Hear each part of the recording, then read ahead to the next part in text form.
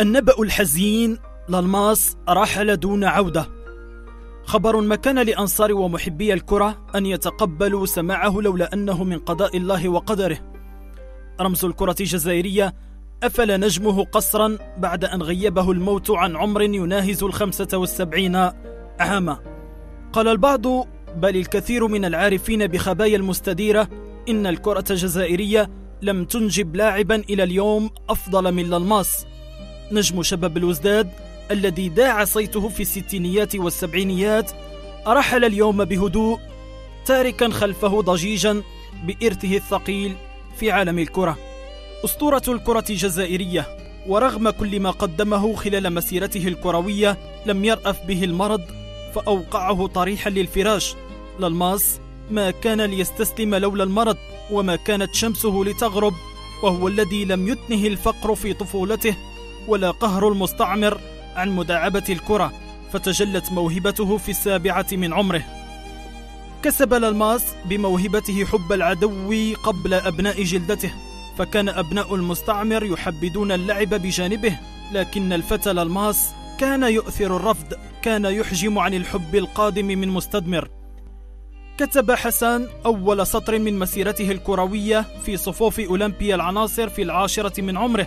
لالماس لامس خلالها الكرة إلى جانب العديد من نجوم كرة القدم الجزائرية إبان الثورة التحريرية.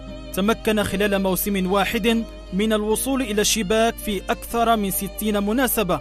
ولن يصدق البعض أنه سجل خلال مباراة واحدة عشرة أهداف كاملة. كان ذلك في شباك فريق بيرتوتا في الشهر العاشر من عام 62 ابن حي بالكرة العتيق نقش اسمه من ذهب بعد أن حمل قميص شباب الوزداد. هناك ارتدى توب الشهرة وبات في زمن قصير رمزا من رموز الفريق وإحدى القطع التي لا يمكن لقاطرة الشباب أن تسير دونها.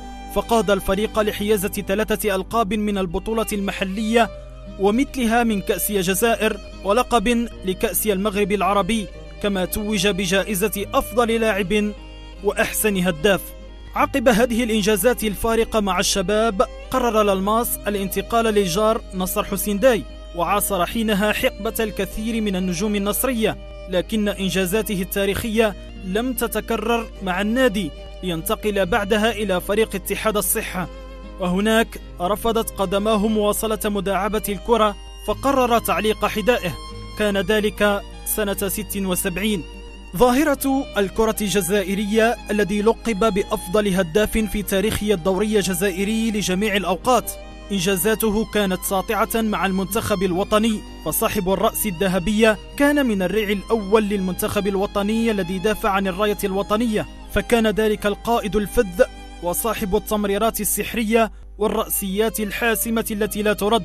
وقع على أول هدف للمنتخب الوطني في كأس أمم أفريقيا عام 68 واختير حينها أفضل لاعب في الدورة وقد سجل ثلاثية من الأهداف هي الأولى للاعب إفريقي في كأس أمم أفريقيا.